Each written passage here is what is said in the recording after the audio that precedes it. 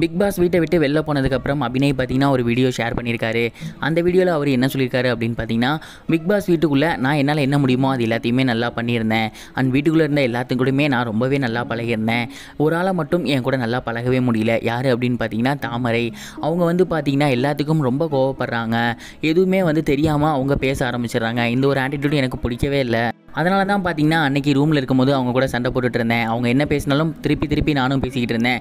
நீங்கள் ஏன் வீட்டுக்குள்ளே வந்தீங்க? அப்படின்லாம் கேட்டிருந்தேன். அது உண்மையிலுமே வந்து ஒரு தவறான வார்த்தை தான். அதற்கு வந்து நான் அவங்கள்ட்ட போயிட்டு மன்னிப்பு கேட்டுட்டேன். அண்ட் வீட்டுக்குள்ளே எனக்கு வந்து பார்த்தீங்கன்னா எங்கள் சீசன்லேருந்து உள்ளே வந்திருந்த நிரூப்பாக இருக்கட்டும் அதுக்கு முன்னாடி சீசனில் இருந்த பாலா தாடி பாலாஜி அனிதா வனிதா அப்படின்னு எல்லாத்துக்கூடையுமே நான் வந்து ரொம்பவே நல்லா தான் பழகியிருந்தேன். காவலர்கள் விசஸ் கல்வர்கள் டாஸ்கில் எனக்கும் வனிதாக்கும் அனிதாக்கும்லாம் சில ஃபைட்டு வந்துச்சு. பட் நான் அதை பெருசாக ரியாக்ட் பண்ணிக்கல. அது போகட்டும் அப்படின்னு விட்டுட்டேன் ஸோ இந்த மாதிரி தான் நான் வீட்டுக்குள்ளே இருந்திருக்கேன். நான் எப்பவும் நானாக தான் இருந்திருக்கேன். வீட்டுக்குள்ளே எந்த ஒரு இடத்துலையுமே வந்து பார்த்தீங்கன்னா நான் நடிக்கல. இதுதான் வந்து அபிநயோட கேரக்டர் நான் பிக் பாஸ் அல்டிமேட்டுக்கு வரணும் அப்படிங்கிறது நினச்சது எதுக்கு அப்படின்னு பார்த்தீங்கன்னா சீசன் ஃபைவ்ல வந்து நான் வந்திருந்தேன். பட் என்னால் அந்தளவுக்கு கான்ட்ரிபியூட் பண்ண முடிஞ்சா அப்படிங்கிறது இல்லை. அது மட்டும் இல்லாமல் சில தவறுகள் என் மேலே இருந்துச்சு. ஸோ அதெல்லாம் திருத்திக்கிட்டு இந்த அல்டிமேட்டில் நல்லா விளாடும் அப்படிங்கிறதுக்காக தான் நான் வந்திருந்தேன்.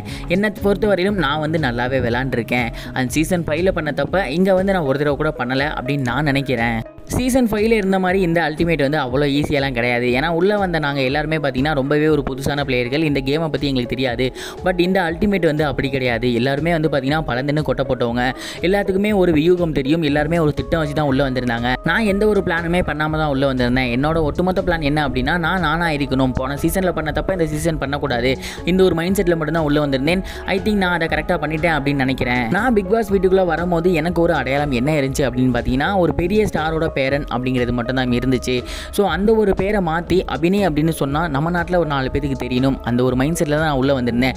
இப்போ அபிநய தமிழ்நாடு முழுக்க எல்லாத்துக்குமே தெரியும். என்ன எல்லாருமே பார்த்துருக்காங்க. ஸோ இந்த ஒரு ஃபுல் ஃபீலே எனக்கு போதும்.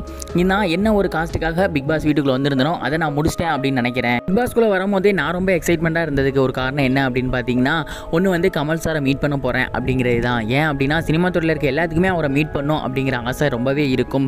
நான் வந்து அவரை மீட் பண்ணியிருக்கேன் அவர் பக்கத்தில் நின்று பேசியிருக்கேன் அப்படிங்கிறதே என் வாழ்க்கையில் மறக்க முடியாத தருணங்கள். ஸோ இதெல்லாம் தான் பார்த்தீங்கன்னா அவர் இந்த வீடியோவில் ஷேர் பண்ணியிருந்தார். அண்ட் அது மட்டும் இல்லாமல் மக்களை பார்த்து நான் இந்த இரண்டு வாரம் இருந்ததற்கு முழு காரணமும் நீங்கள் தான். உங்களால் தான் நான் அந்த வீட்டுக்குள்ளே ரெண்டு வாரம் இருந்திருக்கேன். எனக்கு ஓட்டு போட்ட எல்லா மக்களுக்கும் நன்றி அப்படின்னு சொல்லியிருந்தாரு. இந்த மாதிரி இன்ட்ரெஸ்டிங்கான வீடியோஸ் மற்றும் பிக் பாஸ் அல்டிமேட் பற்றின தகவல்கள் உடனுக்குடன் கிடைக்கணும் அப்படின்னு நினச்சிங்கன்னா நம்ம சேனலை மறக்காமல் சப்ஸ்கிரைப் பண்ணிக்கோங்க. கூடவே இருக்க பெல்லைக்கான கிளிக் பண்ணிக்கோங்க. இது வரைக்கும் கனெக்டிங் டிவிக்கு சப்ஸ்கிரைப் பண்ணனா மறக்காமல் சப்ஸ்கிரைப் பண்ணிக்கோங்க. உடனடி அப்டேட்ஸ் பெறுவதற்கு நோட்டிஃபிகேஷன் பெல்லையும் கிளிக் பண்ணிக்கோங்க.